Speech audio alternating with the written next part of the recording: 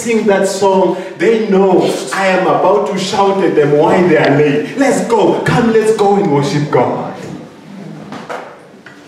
And, and this is a beautiful song that they sing. Verse 3 says, For the Lord is a great God and a great King above all gods, in whose hands are the depths of the earth. The peaks of the mountains are his also. In other words, this song is saying everything that is in this world belongs to God. Silver and gold that we are chasing, brothers and sisters, belongs to God. Everything that we have belongs to God. And verse 6 says, Come, let us worship and bow down. Let us kneel before the Lord our Maker. Hallelujah. God is good. This is the song that they would sing. And, and it's, it's a positive song. It's a song that says, let's go and worship God. But, but look at verse 7. Verse 7, there's a twist there. Because this song, you think it's a song of motivation, it's a song of encouragement. But when you read from verse 6, there is a twist there. It says, For he is our God, and we are the people of his pasture and the sheep of his hand. Today, if you hear his voice, do not harden your, your hearts. Can you see it's moving away from being a positive song, from being hallelujah kateko. It's moving away from that, and now it's it's a warning. He said, Today, if you hear his voice, do not do what? Do not harden your hearts. And, and verse 8, it's, it's, even, it's even going deeper to warn us. It says, if we harden our hearts, we must be careful that we are not like those people who were at Meribah who hardened their hearts. Who, which people were at Meribah who hardened their hearts? The children of Israel. You remember? After God rescued them from Brother Kill, the roving mic, my brother, the roving mic, the roving mic. Yes. Yes. If you hear his voice. So the question is, whose voice is it? Does it come with sound? Brother Cleo, does voice come with sound? Of course. Whose voice is it? I believe what the author is saying, it's the voice of God. When God speaks to you, do not harden your heart. Don't be like the children of Israel. After seeing all the good things that God did for them, after seeing God's goodness when He rescued them from Egypt, and He, he actually parted the Red Sea so that they could cross. Shortly after that, what did they do? They started complaining against God, isn't it? They started complaining about water. They started saying, they started complaining even about meat. You remember they wanted meat. They said in Egypt it was good because we had lettuce, we had cucumber, we had fish, we had all these things. They, they started complaining to God. They said, God, we want to go back to, to Egypt. They, they said, uh, were there no graves in Egypt that you would bring us to the wilderness so that we can die? Was God good to them? He was good to them. But, but, but, but every time there was a, a, a small challenge in, ahead, every time they encountered difficulties, they forgot about God's goodness and they started remembering the past. Ne? We like that sometimes, brethren? Is God good to us? Has God been good to you? I mean, there's no church that enjoys God's goodness like Hilltop Church of Christ. Hallelujah. I mean, a year we witnessed three weddings. Eh? Next year we're going to witness three more. If, if some of you have not decided, maybe it will be more. I mean, God is good. Every year we have a childbirth. Do you know the process of childbirth and how risky it is? I'm telling you, God has been good to us here. I mean, look at the parking lot. Has God been good to us? I mean, last week we had a, the headache that we had was that other people had parked behind our cars. Eh? I mean, when we started at Hilltop, I, I think there were two cars. Brother Amos did not have a car, she was, he was walking, my, my sister. I mean, God has been good to us. And, and God is saying, you also, you must be aware that you do not harden your hearts. Ne? After he has been so good to you, be careful that you don't harden your heart like those people. I mean, God was so good to the children of Israel. We are told for 40 years they used none of their shoes wore out. I mean, for 40 years you are using the same shoes eh? and they don't wear out. Was that God's goodness? Uh, some of you don't believe it. Eh? For 40 years. I mean, I mean, one of you bought me these shoes last year, late last year, but it's beginning to wear out. Eh? I mean, that's how good God was to them. But did they thank God for His goodness? Instead of thanking God for His goodness, every time they encountered a new challenge, they started complaining. Are we like that sometimes? Yes. Yeah. You, you just got a job last month, eh?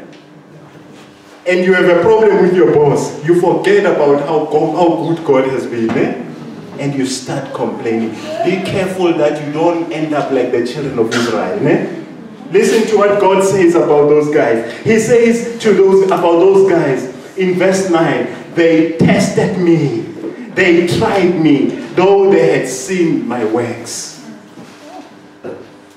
I like verse 10. And verse 10 is very is a very sad verse. It says, For 40 years I loathed that generation. Do you know what is to loathe? Is to hate. And to loathe is God is actually saying, for 40 years, I couldn't stand those people. Whew. Is there anybody you can stand? Anyone that you can stand? yeah, maybe some of you, hey, I can't stand justice. Eh?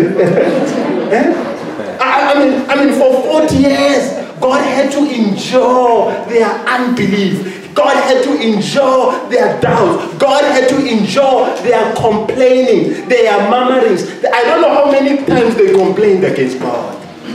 And God says, for 40 years, I, I couldn't stand those people. Verse 11.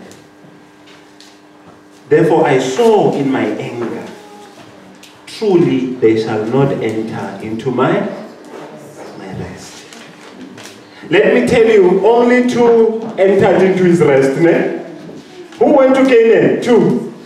From this stubborn generation. Two. Joshua and Caleb. And all those who were 20 years and younger. Those who were 20 years and above, they did not see Canaan. Guess what? Even Moses did not see Canaan. You remember? Yeah. Didn't see Canaan. And so, why is the author of the book of Hebrews drawing parallels between Psalms chapter 95 and what he's about to say? He's actually quoting the same verse to make a point. What does God say about them? Actually, we are told that, that, that so many people died. There were 600,000 men. Eh? 600,000 men. We're not counting their wives were not counting children. Eh? See, and so it will be how much? Two, two, two point something million people died. Eh? So it means on average you had 40 funerals a week. That's what God does. Eh? Yeah, He wiped them away. Because of what? Unbelief. Brethren, be careful that we are not like them. Eh? After God has been so good to us, we have few challenges on our way. What happens? We start doubting God. Ne? Yeah, every time they had a challenge like water, they doubted, will God, will God take care of us? Eh? And God says, I have done bigger things for you. What is water? I mean, God, God was a very interesting. God He was patient with them. They, they, they started complaining about meat. And while God has done so much good for them.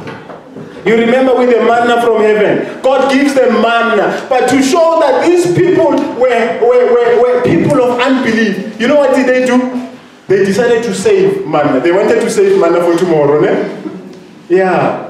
And what happened to the manna? It got rotten. Why? Because God gave them an instruction. You must have manna for, for a day. Ne? Whatever I give you, finish it. Don't bank. I'm sure they were banking the manna because they didn't believe God is going to provide tomorrow. Ne? Are we like that sometimes? Right? Yeah. We lie awake worrying about what we have because we don't trust that God is going to provide tomorrow. Hallelujah. I, I don't know, it's easy to criticize these people, but I see myself in them. Yeah, God has been good to me. People have been talking about a 10 year challenge. Brethren, if I can start with you on my 10 year challenge, God has been good to me. Yeah, I was unemployed 10 years ago. Penny was raised by this church. Hallelujah. Muteo was raised by this church. Eh? My wife was raised by this church. Hallelujah. She was educated by this church. Ah, God has been good to me. Brethren, I have, I have cars. Hallelujah. I don't have a car. I have what? Cars. Yeah, can I brag about God? Yeah, I couldn't buy even a single car while I was outside the church. Eh? I was an assistant director. I couldn't buy a car. Today I have what? I'm rolling. I'm rolling. Yeah. Why? It's God's what? Goodness. There is nothing I have that doesn't come from God. Actually, when I left the, the, the, world of work, God made sure that everything I bought with the money of the world of work goes. I remember I managed to buy myself so fast, I ended up selling them. God was saying, let's start afresh. I want to start. Oh, behold, I'm doing a great thing. Behold, I'm doing a new thing for you. But guess what? Like these guys, the Egyptians, the Israelites, every time when there's a new challenge, I forget about God's goodness. My son nearly died at birth. He's the umbilical cord, you know, a choked him. But he couldn't breathe. And the doctors had to. But guess what? He's alive. Eh? Is God good? God is good. My first son nearly died also because the nurses were negligent. Is God good? That's why I call him the pain, meaning victory. Our victory is in our faith, brethren. So the author of Hebrews is quoting that very passage. He says, Today, if you hear his voice, do not harden your, your hearts. When they provoke me, as in the day of trial in the wilderness, where your forefathers tried me by testing me and saw my works for 40 years. It's very interesting how he uses 40 years. Ne? Here. He says, for 40 years they did what? They saw my my works. But in the in the book of Psalms, what did he say? For 40 years I I hated them. Ne? But here the author of Hebrews says, for 40 years they saw my is it possible that this author is trying to advance a particular point to the audience here? What point do you think he's trying to advance? Remember the purpose of the book. Some of is to encourage them not to go back, ne? Is to encourage them not to do what? Not to go back to their past lives, ne? And so he is using this particular verse. He says, for 40 years, God did what? God, he says, therefore for 40 years, they saw my, my works. Let me tell you something about the book of Hebrews. It was written in AD 66 to 67. That is 40 years after the resurrection of Jesus. Hallelujah. Yeah, those who know mathematics, plus minus there, eh? It's 40 years after the resurrection of, of Christ. Is he trying to tell them something? That even you, for 40 years, God has been good to you. Ne? Firstly, with the resurrection of Jesus, and with all the miracles. You remember there were so many miracles. They were healed, they were given bread, they were, they were, he says, for 40 years, like those people, God has been also good to, to you. Don't go back. To us, it's not even 40 years. I mean, what is it now? 2,000 years ago, ne? Jesus died and he, he, he was resurrected. To us, for more than 2,000 years, God has been good. Ne? So he's saying to you, for 40 years, God has been good. Therefore, I was angry with this generation and said, They always go astray in their hearts. But why were they hardening their hearts? They were hardening their hearts because of what? Unbelief. Ne? Yeah. Do we have areas of unbelief? Do we have areas where we don't believe in God's power? Do we have areas in our lives where we look at our lives and our difficulties and we forget about how, how great God is? I think we all do, ne? Yeah, think about your own area. Some of you, God has taken you from what? Chitindini. Hallelujah. God has taken you from Nongo. God has taken you from Mpumalanga. You are here. And guess what? You passed matric. You even passed your degree. But now you have a challenge of getting a job. Ne? And you're starting to doubt whether God can provide. Ne? You are like the children of Egypt. Hallelujah. Of Israel. Some of you, God has been good. He gave you husbands and wives. Ne? Yeah, you have a smaller than a challenge now, ne? Maybe your challenge is what? You don't have man. Maybe your challenge is what? Fertility, ne? And you're starting to doubt God and say, Hi, God, ah, yeah, yeah. I don't believe you can do it, ne? We all have areas of unbelief. You think about your own area of unbelief. What is it that you don't trust God for? Young ladies, I'm sure you are looking at others getting married left, right, and center. Ne? Hallelujah. Amen. And, and you are just forgetting that God gave you a job. Ne? Yeah, I, saw a clip. They argue that it's from Robert Mugabe, who said, Young men, stop going to gym for six packs. Women don't eat six packs. Go to work. I mean, what you was saying basically there is that, is that hey, go, I mean, some of you have jobs, isn't it? The only thing you don't have is a what? A partner. Eh? You're forgetting the job you have. You are concentrating on what you don't have. You become like the children of Israel. This is an area of unbelief that you need to work on. Eh? Yeah. Some of you have been working for all these years and things are not good now. And it's easy to question God. Ne? and say, Where is God when all these things? Some of you, your businesses have been thriving for all this time, and now you are hitting a snake, you start to question God. Guess what? You forgot the cars that you bought with this business. Let us not be like those guys. My brother, God has been good to you. Amen. Has God been good to you, brother Anna?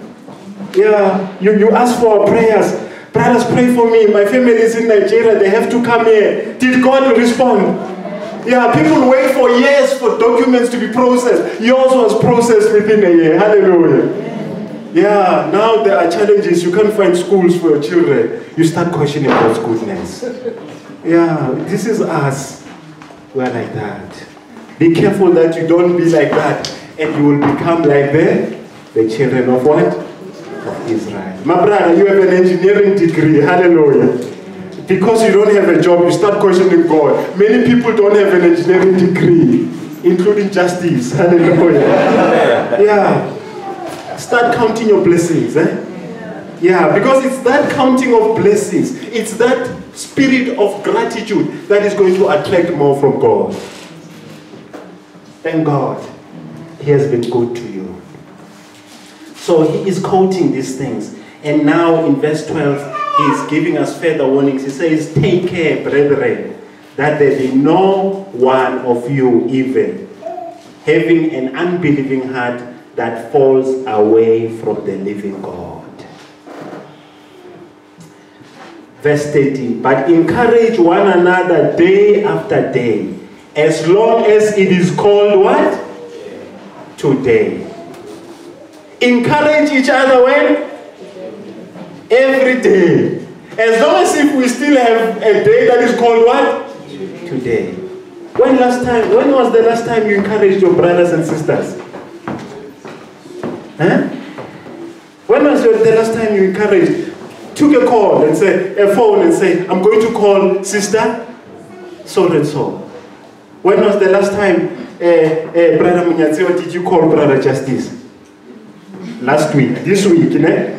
Yeah. It's easy to call your friends, ne? Yeah. But listen to what he say. Call each other when? Daily. As long as if it is called what?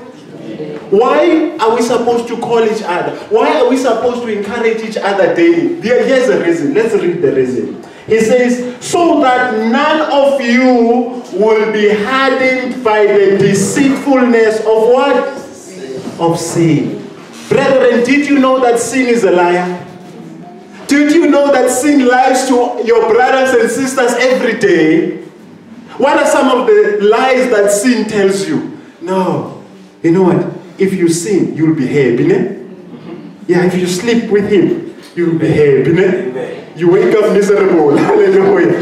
Has sin lied to you? Yeah. Uh, what are some of the, the lies that sin tells you? Sin tells you, now, God understands. Ne? Yeah, surely God understands. Yeah, you're going through a lot. He can see. Yeah. Ah man, guys, you are too holy for me today. Does, does sin tell you that? I mean, there is a sin that all of us think God understands in your life. Ne? Yeah, there's one sin that you think, ah man, surely God understands. Ne? Yeah, I should bribe. Ne? Yeah, I was late for church. I surely God understands. Cold drinking yana. Can cold drinking yana take me to a hell? Uh, surely, surely God what? Understands. I don't have a license. What must I do? Surely God understands South Africa is bad. don't we have a surely God understands moment? Eh? Yeah. But, but, but me and him love each other. Eh? Oh, we're about to get married. We've even announced to the parents. Eh? Ah, surely. Brethren, sin is deceitful. Eh? Sin is. Yeah, sin tells you, no, don't come to church.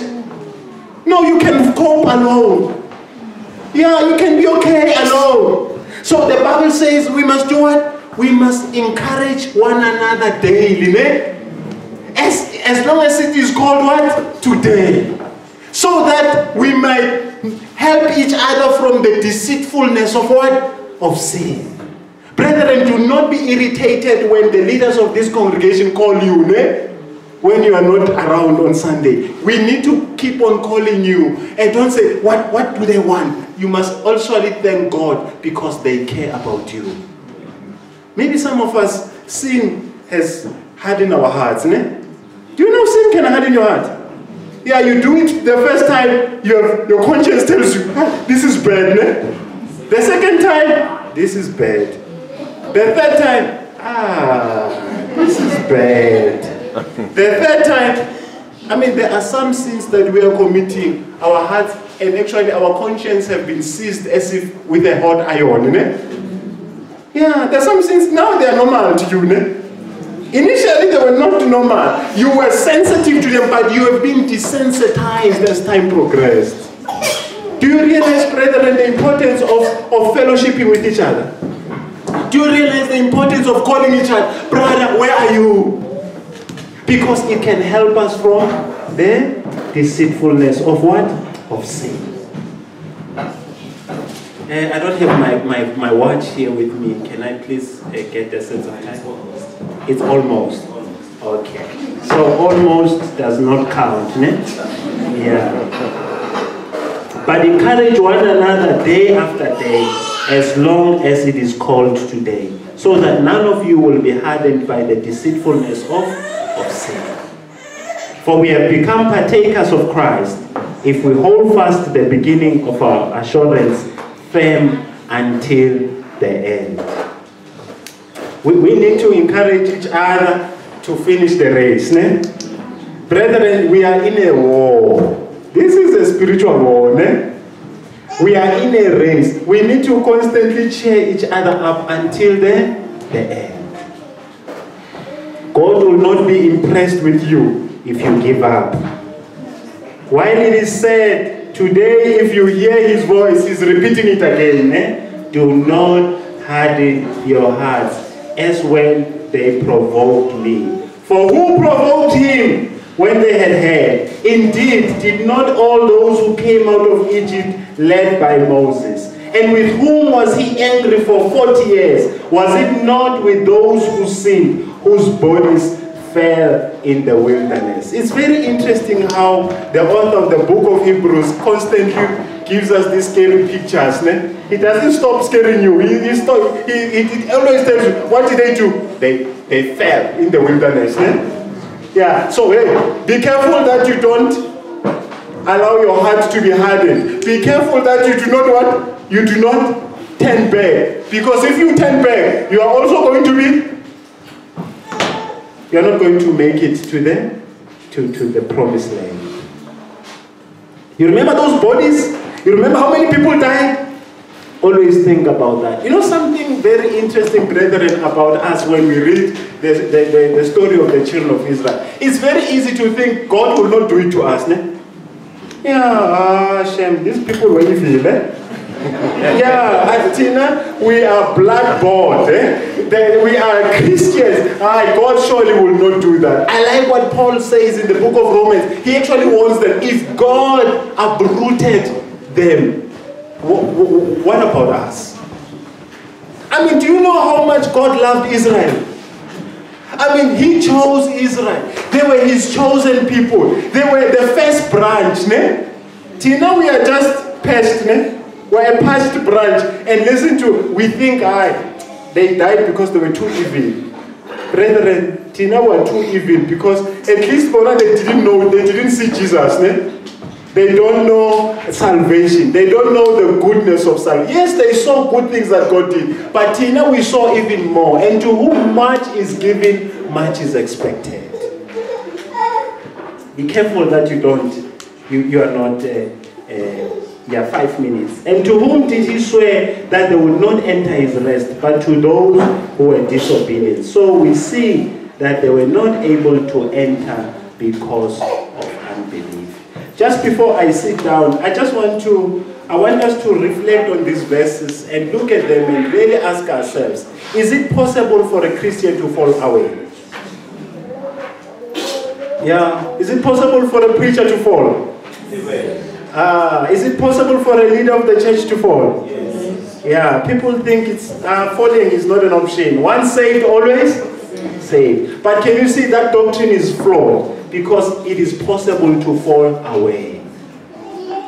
Let's go to verse 12 and read it again. Take care, brethren, that there not be any among you evil, unbelieving heart that falls away from the living God. Brethren, it's possible to fall. Ne?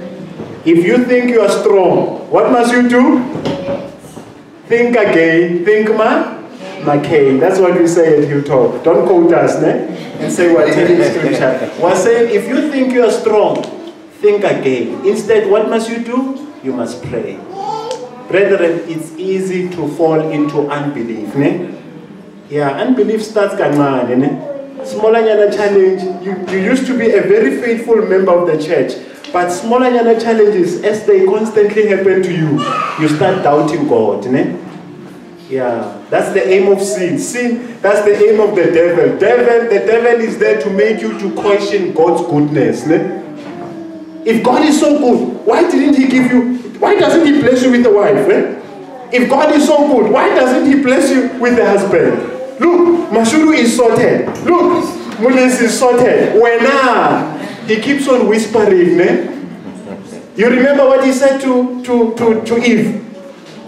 God said to Eve, if you eat from this tree, you shall surely die. What did the serpent say? He changes one word. Ne? He says, he includes not. Ne? He says, you shall surely not die. The aim, brethren, of the enemy is to make you question and doubt God and want to think that something is good outside. Please don't go outside church. Ne? Don't go to a showgrounds, ne? Can I hear an amen? amen. Don't go to showgrounds, ne? It's personal, my friend. Yeah, I want you to take it personal. That's the point. Don't go to these things that you are seeing, brethren. there is nothing better than our salvation. Amen? Yeah. Don't fall away. Amen. Let's take five minute break and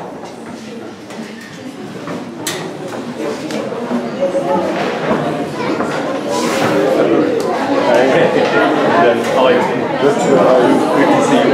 Just to make you see you